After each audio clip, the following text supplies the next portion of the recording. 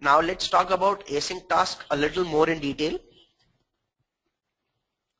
So the async task encapsulates the creation of threads and handlers. So as I told you, whenever I talk about async task, what I'm actually talking about is I'm creating a new thread or I'm spawning a new thread and using it in my application. Alright, so the async task is started via the execute method. So if you would have remembered here, I created the async task and called it with the help of the execute method. Can you all see that?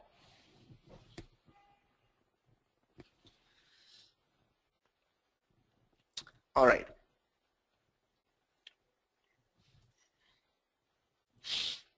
All right, so we call always call the async task with the execute method.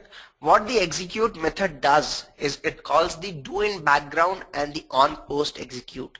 So what this what execute does is it first calls the do in background. So what this method will do is it will do all the necessary background processing and as soon as this method gets over with the processing it calls the on post execute which tells me that my processing is done and if I need to update the UI on the basis of the processing I can do so in the on post execute method.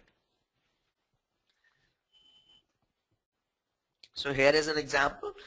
When I call execute, the first method that gets called is the do in background and then after that we call the on post execute which tells me that my processing is done. Now I just need to display the output. As I told you, the do in background method contains the coding instructions which should be performed in the background thread and on the on, on post execute is called by the framework once the do in background method finishes in order to show the results. Very much similar to what I just told you. Let's talk about the parameters. As I told, told you, the parameters progress the result. So these are the various three parameters that I told you. Parameters, the type of parameters sent to the task upon execution. That is what parameters you need it to execute upon progress. The type of the progress unit published during the background computation. computation. Here you will be using an on progress publish method in order to publish the progress to the UI. And then we finally have the result method. Any person having any doubts in any of the topics till now, you can respond back onto the chat window. Any problems in understanding async task also, you can respond back on the chat window.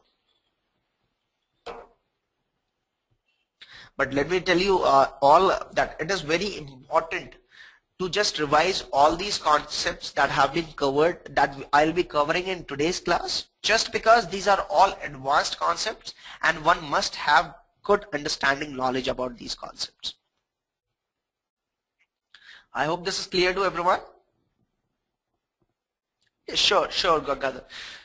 So what happens is Gangadhar, whenever suppose I'm actually doing some network download, alright, and what I need to do is I need to show the progress of the network download to my user. So what I can do is I can create a progress dialog and I'll be monitoring the amount of data that is getting downloaded from the HTTP request. So here the progress parameter uh, will be an integer variable for me so what I'll be doing is on progress publish update, what I'll be doing is I'll be calling the progress bar, I'll be having the object reference of the progress bar and I'll be creating the or I'll be updating the progress bar with the help of this integer variable. So as soon as I'll be getting the various updates done, that is I'll be getting the downloading done, my progress publish will be updating my UI, that is my progress dialog box and it will show me the complete execution of the process. So that is how the progress bar or say the on published progress method works in async task. Gangadhar.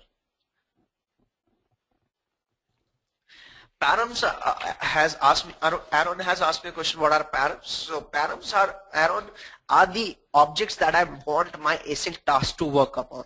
So here if you would have seen, I was calling the edureka.in URL. So here is my params. So this is the parameter that I passed on to my async task. So that is what the params method does here. I hope this is clear to you, Aaron.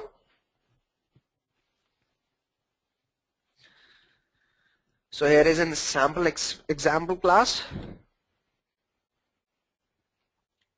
It could be a string array as well, Gangadhar, not just a single string. It could be a string array as well.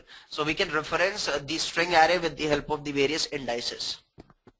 If I'm passing on the string array, I can refer to the various string array objects as with reference to the indices.